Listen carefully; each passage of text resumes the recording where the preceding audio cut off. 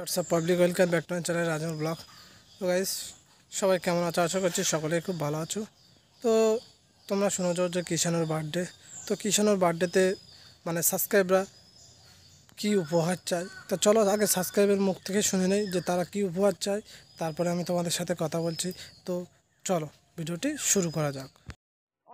মানে আমি কারোর পক্ষে বলছি না কারোর বিপক্ষেও বলছি আচ্ছা, না আমি দোষটা পুরোপুরি।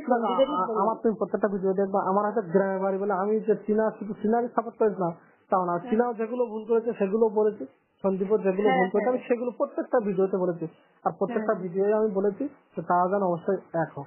প্রত্যেকটা ভিডিও আমি তাদের এক চেয়েছি হ্যাঁ আমিও দেখে শুধু এটাই ভাবছি যে ওই বাচ্চাটার জীবনটা কি হবে।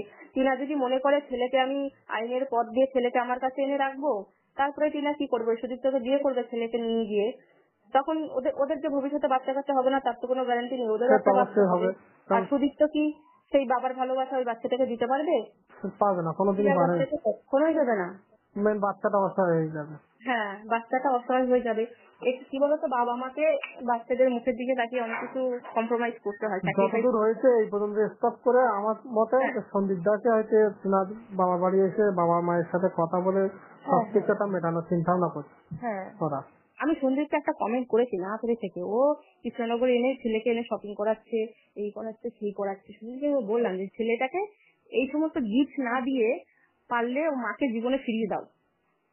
হ্যাঁ কারণ এই তাহলে ছেলেটার জীবনে সব থেকে বড় গিফট হবে হয়তো সেটা জন্মদিনের। সমস্ত হ্যালো হ্যাঁ বলো। হ্যাঁ সমস্ত সবাই যতই যাই দিক না কেন ওর জীবনের যে মায়ের যে খালি জায়গাটা যে মানে শূন্য জায়গাটা সেটা তুমিও পূরণ করতে পারবে না তোমার মাও পারবে না তোমার বাবাও পারবে না কিন্তু। কিন্তু তারা কিন্তু সবসময় থাকবে না।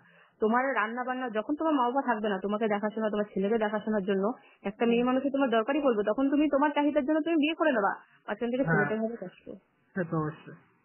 কি বলতো আমার বয়স হয়তো এই যে মানে কি বলব আঠাশ উনত্রিশ। হ্যাঁ আঠাশ উনত্রিশ। তো এইটুকু জীবনে কিন্তু আমি অনেক কিছু দেখি। তো তোমরা কল রেকর্ডিংটা শুনলে সাবস্ক্রাইবরা কী চাই? মানে কিষানোর বার্থডেতে তার মাকেই ফিরিয়ে দিতে বলছে। তো সন্দীপদা তোমাকে একটা কথা বলছে। তুমি আগে শোনো আর তোমরাও শোনো। তোমরা হয়তো অনেকে অনেক রকম কথা বলছো। না জেনে, না বুঝে। দেখো, টিনা মেয়েটা অ্যাকচুয়ালি ছোটোর থেকে কখনো খারাপ ছিল না।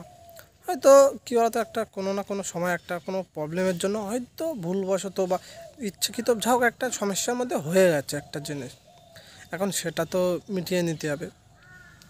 তো সন্দীদাকে বলব যে কিষানোর বার্থডে আছে, তুমি টিনার বাবা মাকে ফোন করো বা টিনাকে ফোন করে বার্থডের একটা নিমন্ত্রণ মতন করো বা তাদের সাথে একটু কথা বলো।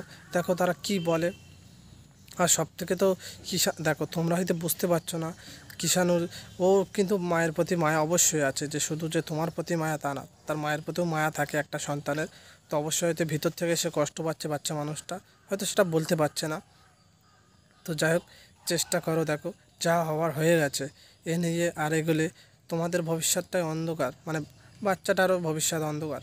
এবার বাচ্চাটার কথা যদি তোমরা সকলেই ভাবো, তাহলে আমি মনে করি এই সম্পর্কটা আবার এক করে নাও। আর দেখো, যেভাবে মেটে, সেভাবে মেটানোর চেষ্টা করো, কারণ টিনার বাবা আমার সাথে কথা বলো, সবার সাথে কথা বলে এটা একটা মেটানোর জায়গায় নিয়ে আসা দরকার। আমি টিনাদিকেও বলব, তুমি যে ভুলটা করছ এই ভুলের কখনো ক্ষমা হয় না। তবু যদি সন্দীপ তোমাকে ক্ষমা করে তোমাকে কাছে ডাকে, তো অবশ্যই আর ইগনোর বা অভিমান করে থেকো না। যা হয়ে গেছে সব কিছু বাদ দাও, ওটা হয় কোনো ব্যাপার না। তা তোমরা আবার এক হয়ে যাও। টিনা দিদি, তোমার কাছে এটাই আমার রিকোয়েস্ট কিচ্ছু মনে করে কোনো রাগ, ঝগড়া আর মনে রেখো না। তোমরা এক হয়ে যাও আবার। তো চলো এটুকুই বলার ছিল। আর কিষানুর হ্যাপি বার্থডে ভালো থাকো, সুস্থ থাকো। বার্থডের দিনটা খুব এনজয় করো, আনন্দ করো। আর মাকে তো পেলে আরও এনজয় হবে। তা চলো ভিডিওটি এখানে শেষ করলাম। ভিডিওটি কেমন লাগল কমেন্ট করে জানাও। নতুন হলে সাবস্ক্রাইব করো। তা চলো দেখা হচ্ছে একটা নতুন ভিডিওতে। ততক্ষণ ভালো থাকবে, সুস্থ থাকবে অ্যান্ড টাটা।